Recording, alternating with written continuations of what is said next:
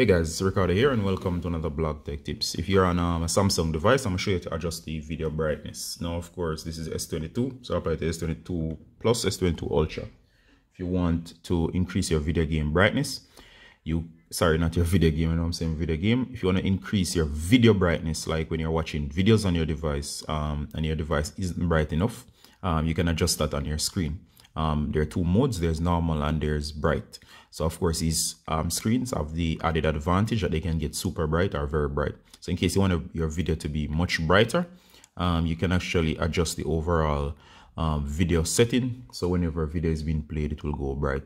All right, so to show you to get the video brightness settings, go to settings. And of course, you'll be in this menu. Once you do, go ahead and go down um, you'll go to the option that says sorry I missed it advanced features. Once you do guys go through and you'll see a bunch of options. Um, right here you'll see video brightness. As you can see it says normal.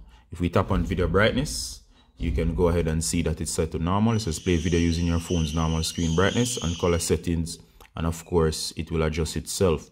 So if you want you can switch between normal and bright. So if you want you can choose the bright feature it will show you the players that is enabled in and you can choose um, that it's on. You can turn it off for specific players. So if you want it to work on netflix tiktok youtube and so on. So when you're watching your videos it will get very very bright. And of course you'll be able to see much clearer. But that's if you want to. Um, you can set it back to normal if you want or exit. So that's the video brightness setting. All right? Well any tutorial here. As always Ricardo from blog tech tips. Saying bye. Until next time. Bye